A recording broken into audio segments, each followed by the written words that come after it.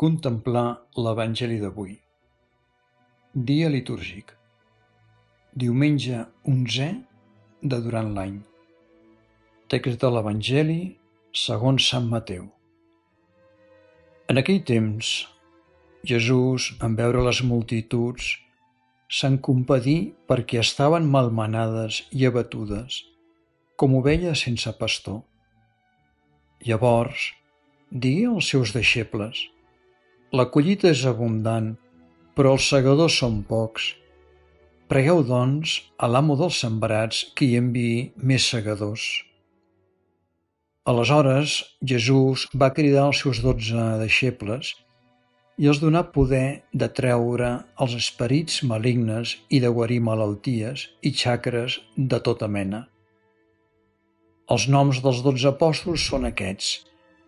Primer, Simó, anomenat Pere, i Andreu, el seu germà, Jaume, fill de Zebedeu, i Joan, el seu germà, Felip i Bartomeu, Tomàs i Mateu, el publicà, Jaume, fill d'Alfeu, i Tadeu, Simó el zelós i Judes l'Iscariot, el qui el va trair. Aquests dotze Jesús els va enviar amb aquestes instruccions. No us encamineu a terra de pagans, ni entreu en cap població samaritana. Aneu més aviat a les ovelles perdudes d'Israel. Pel camí prediqueu dient, el regne del cel és a prop. Cureu malalts, ressusciteu morts, purifiqueu leprosos, traieu dimonis, de franc ho heu rebut, doneu també de franc. Comentari redactat pel mossèn Joan Serra i Fontanet, Barcelona, Catalunya. Jesús, en veure les multituds, se'n compadí perquè estaven malmenades i abatudes com ovelles sense pastor.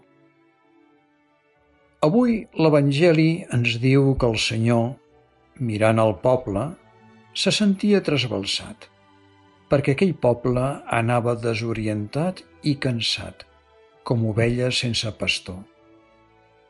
El poble d'Israel sabia molt bé, millor que nosaltres, homes de ciutat, què era un pastor i l'aldarull que es formava quan les ovelles s'estaven soles sense pastor. Si Jesús vingués avui, jo crec que repetiria les mateixes paraules, ja que hi ha moltes persones desorientades buscant quin és el sentit de la vida. Senyor, quina solució doneu a aquest gros problema? Doncs Jesús demana oració, escull dotze apòstols i els envia a predicar el regne de Déu.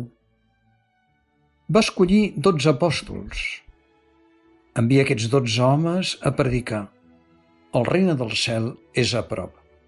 Cureu malalts, ressusciteu morts, purifiqueu leprosos, traieu dimonis.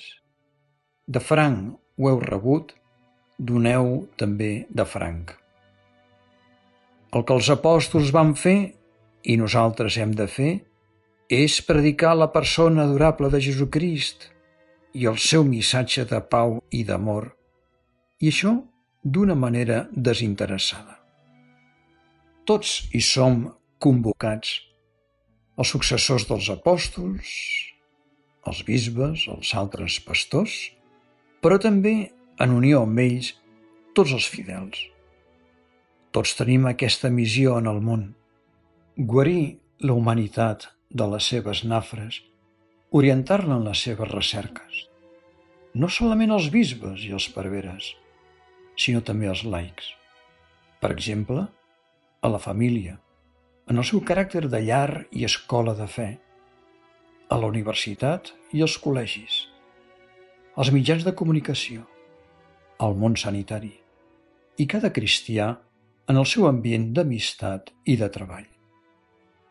Escoltem Sant Francesc de Sales, que escriu En la mateixa creació de les coses, Déu, el Creador, manar les plantes que cadascuna llevés fruit segons la seva espècie. Igualment, els cristians, que són plantes vives de la seva església, va manar-los que cadascú d'ells llevés fruit de devoció segons la qualitat, l'estat i la vocació que tingués.